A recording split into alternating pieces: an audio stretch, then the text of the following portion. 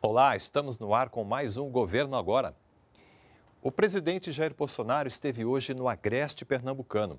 Em São José do Egito, ele inaugurou mais uma etapa do sistema adutor do Pajeú, que vai levar água do Velho Chico para 15 municípios do sertão. O nosso enviado especial, Carlos Molinari, mostra para a gente como a chegada da água vai mudar o dia a dia dos moradores da região. Quem tem água na torneira todo dia até se esquece das dificuldades que muitos brasileiros ainda passam, principalmente os que vivem em regiões do sertão nordestino. Por isso, o um investimento de 245 milhões de reais, feito pelo Departamento Nacional de Obras contra a Seca, o DENOX, será vital para a população do semiárido pernambucano. Algumas cidades nós tivemos a felicidade de, de ter os açudes ter pego recarga né, nesse período de chuva. Mas outras cidades por aí, realmente, Santa Terezinha, também aqui em Pernambuco, está no, no, no, colapso. Tão importante que o próprio presidente Jair Bolsonaro foi até o município pernambucano de São José do Egito, de 33 mil habitantes, para inaugurá-la. A questão da água. Isso é vital para nós. A gente vê no semblante do, do nordestino, quando chega a água, parece que ele ganhou na Mega Sena. E é verdade, ganhou sim e já há previsão para uma outra etapa da obra. Vamos iniciar brevemente, já está contratada a segunda fase dessa obra, com mais de 200 milhões de reais, que vão permitir que 10 cidades, 5 em Pernambuco e 5 na Paraíba, também recebam água nas suas torneiras. A expectativa é que com a nova adutora do Pajeú, bombeando água desde o eixo L da transposição do Rio São Francisco, a vazão aumente para até 480 litros de água por segundo, essa também é a expectativa de moradores deste bairro aqui de São José do Egito, que esperam agora não ter que passar mais pelo racionamento. Todos os dias não tem, né? É como eu falei, aí quando, vamos dizer assim, quando fecha para aqui, aí vai botar para outra rua. Aí fica faltando aqui dois, três dias, mas de toda semana sempre, sempre aparece. A gente tem que, tem que se virar nos 30. No dia que chega a água, você tem que lavar roupa.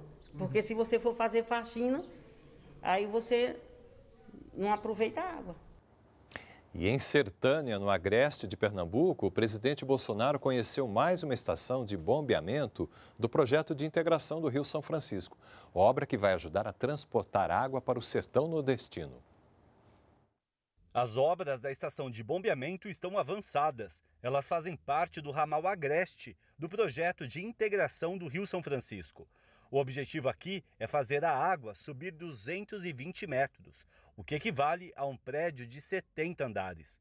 Quando a obra for concluída, em julho do ano que vem, 2 milhões de pessoas de 68 municípios receberão água do São Francisco. O rio está a 260 quilômetros daqui.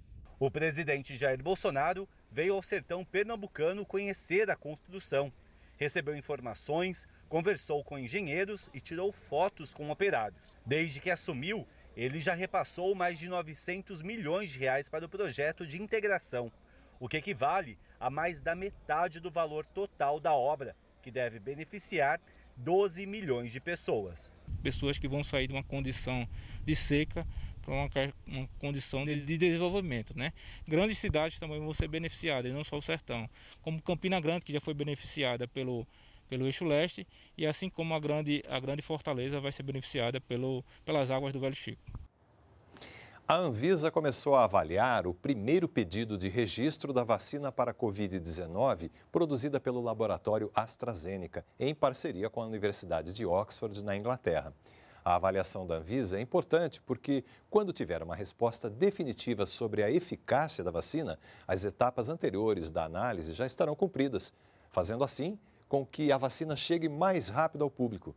O desenvolvimento da imunização já está na fase 3, em que é testada em humanos. Há testes sendo feitos em vários países, inclusive aqui no Brasil. A gente fica por aqui. Essas e outras notícias você confere seguindo as nossas redes sociais. Uma boa noite para você e até amanhã.